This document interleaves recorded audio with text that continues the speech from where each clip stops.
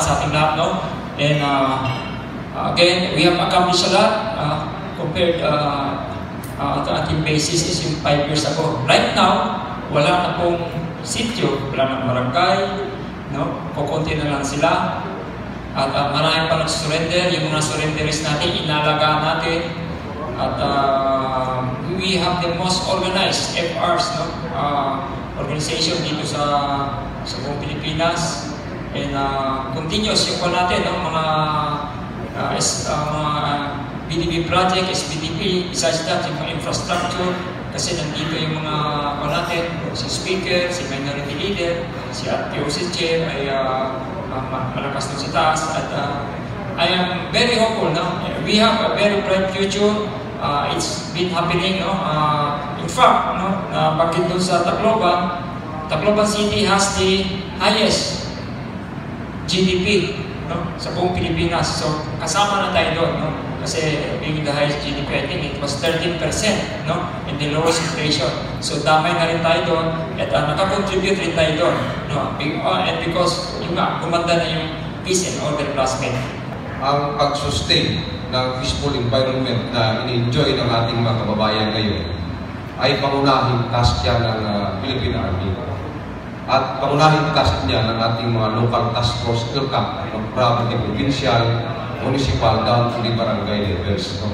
So nagagawa natin yan, na-explain kanina ni General Lina, yung mga component ng ating Integrated Territorial Defense System or ITDS. No? So, kasama dyan sa mga ginagawa, particularly ng ating task force LCAP, ay yung uh, tugunan no, ang mga issues na maaaring gamitin ng CPP-APADF sa ating mga kanayunan para mag-udyok ulit, para mag-radicalize, para mamuling makapag-organisado sa mga barangay na ngayon ay hindi na nila organisado. Wala na konsolidadong barangay sa buong area ng 18 Infantry Division. No?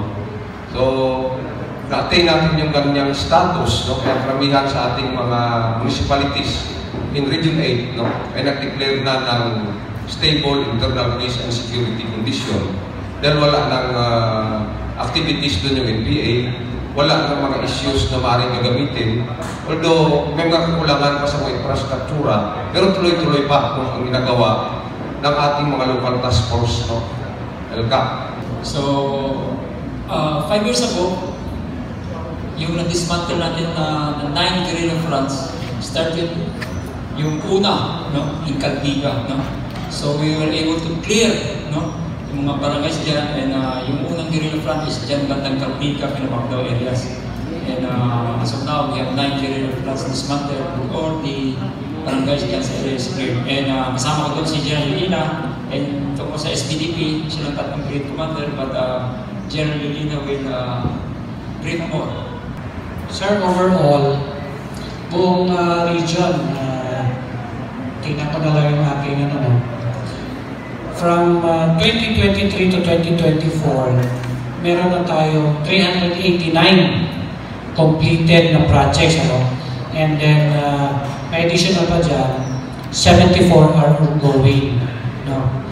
Uh, medyo nag-iba-iba yung uh, uh, amount dito, no? Uh, originally, 20 million supposedly for each barangay na na-clear. No? But then for uh, valid reasons, nandun yung nagka-COVID, meron yung uh, kumukontra sa Kongreso, and so so forth, maraming reasons. So, uh, bumababa to 4 million, may 6 million, may 10 million. But then, we make sure lang na uh, for those barangays na nagbibigyan nito, uh, the Philippine Army as one, uh, as a member of the monitoring no, and evaluation of the projects uh, that are being implemented until completion. No? And uh, the Philippine Army also uh, is one of those agencies na nag-identify kung ano itong mga uh, interventions, be it uh, infra or uh, yung soft project like livelihood na pupunduhan ditong uh, SPDP, Support to Barangay Development Program. Ito ay uh, never before uh, implemented na programa.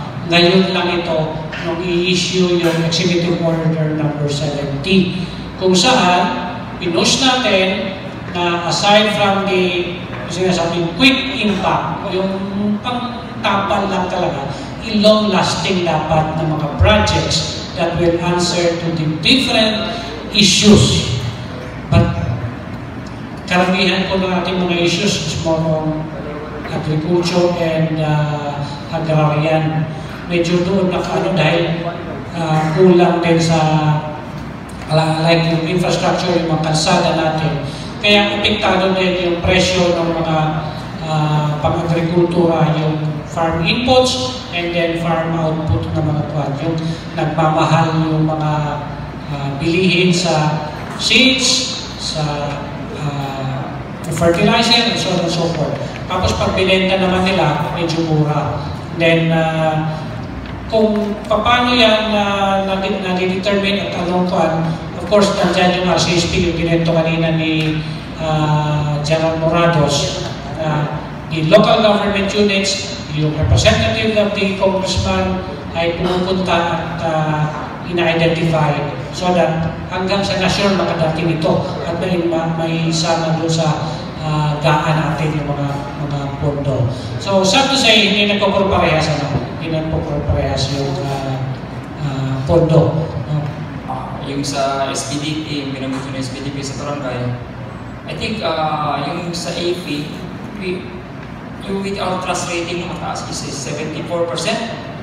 Dito sa Visayas, 80 yata, no?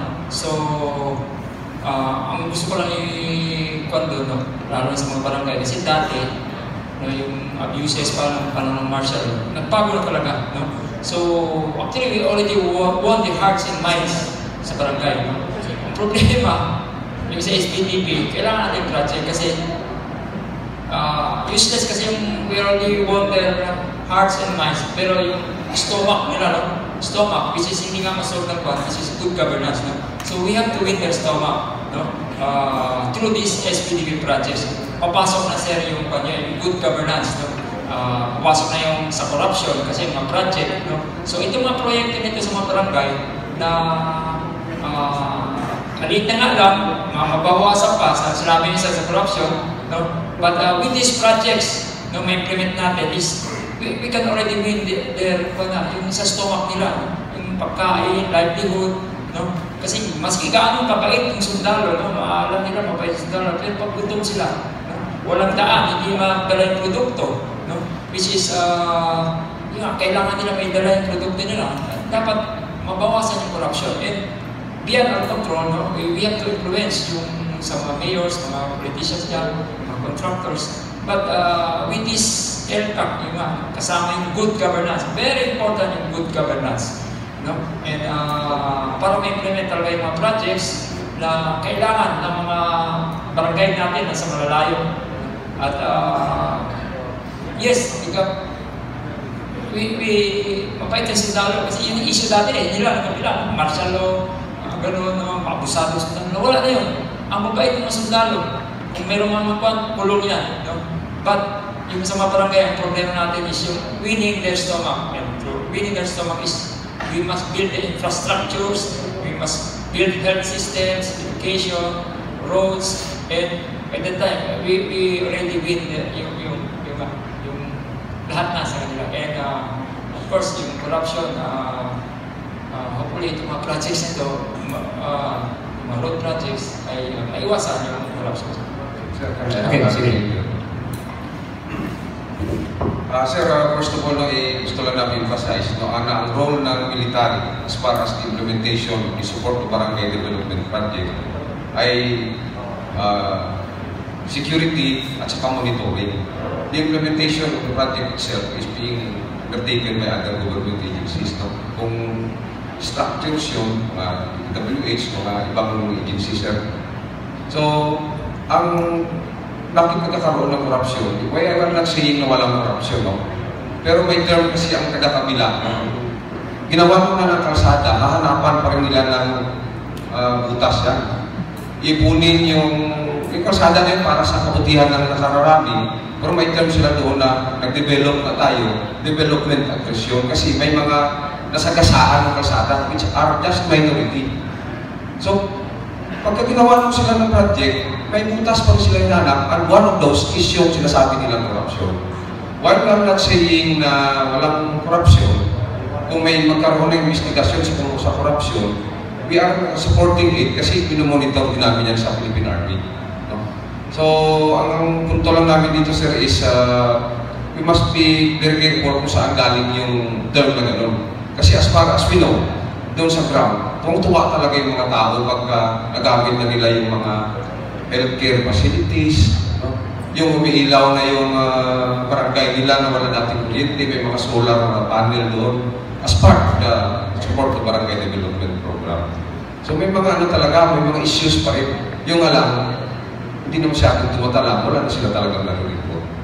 Just an addition to ni Sir Mr. I believe na lahat kami dito is uh, minomonitor namin na mag-succeed yung SBTV programs. Kaya sabi ko nga, yung showcase ng gobyerno doon sa mga affected barangays. So, um, lalo na doon sa Northern Samar, talagang we partner with DALG in monitoring uh, yung ating uh, mga SBTV programs. So, malayo yung barangay, escortan natin, puntahan natin doon. Ngayon, kung isang, halimbawa, isang uh, project hindi ba implemented, ma ma magawa-gawa dahil may mga problema, ina-assist natin sila. Anong kailangan? I-meet between the contractor, anong kailangan? Bakit hindi nyo magawa-gawa? Sir, mahirap yung, ano, yung transporter. Sige, magpapayanihan. Nagpasapin namin ko, magpapayanihan tayo. Upload natin yung barangay na yung mga uh, gamit from this place to this place para magsaksin tayo yung program. Kasi we believe, sabi mo nga, it is uh, a tangible uh, accomplishment ng gobyerno doon sa affected barangays. So that is how we do, how we monitor yung ating mga projects. Nakausap natin yung uh, contractors, of course, yung local executive na dapat talaga makasucceed itong uh, programs na ito. And I would like, uh, let me like, gusto kong i-commend yung ating mga local officials sa Northern Samar at sa mga kasama yung bigay nila dito sa Samar for really looking into these uh, concerns uh, mag-succeed itong SBDP programs. Uh, sa lalo sa leadership ng ating governor, doon sa Samar, si Governor Lunso, at sa kanyang dalawang congressman. And of course, dito sa first district ng Samar, si uh, Congressman Jimboy Tano, at saka si Governor Sierra They are really looking uh, innovations kung paano may improve yung uh, makakapagbigay pa ng serbisyo sa ano, sa uh, ating mga far flung areas, lalo sa mga affected areas. Let me give you uh, two examples kung gaano ka-innovative yung ating mga governors.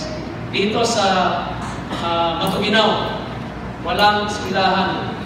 We presented kay Governor Sir, ah, ma'am, walang eskwelahan doon. Kasi nung pumunta kami doon, two years ago, napakaraming bata. Mas 50 mga sa daan, walang eskwelahan, walang elementary school, walang daycare.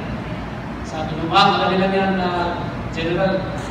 Ang gawin natin is, meron kami rito building, kausapin natin yung pamilya, papayag sila, dali natin dito sa building dito na, na to, dito, natin sila paturain. Doon natin sila turuan ng hands multi-level, kahit yung ano, mga bata pa hanggang sa mga hindi pa nakarating, pwede natin turuan just one setting kaysa magagawa tayo, hindi dito yun, ano, ano, ano, kaysa magagawa tayo ng kalsada papunta roon na mula doon sa sentro Matubina papunta ng San Roque is isang araw na lakad. So, ganun ka innovative mag-isip. Uh, tinanong naman namin si uh, ma'am, maraming mga projects, planning projects na hindi nagsasabi. Ah, madali lang yan solusyon niya. Sige, uh, sa dami ng landing project na binigay sa mga barangay na hindi nagsasakit, nakita niya, ang isa sa mga susi is value formation sa mga barangay.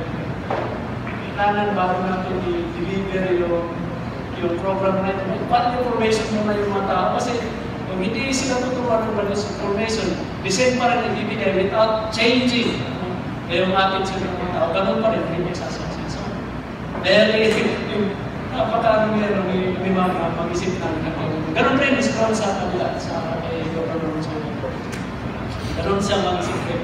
Ano ang um, kailangan natin gawin na kasi para mag-succeed yung ating mga government programs doon sa mga community so that wala nang ma-recruit, no?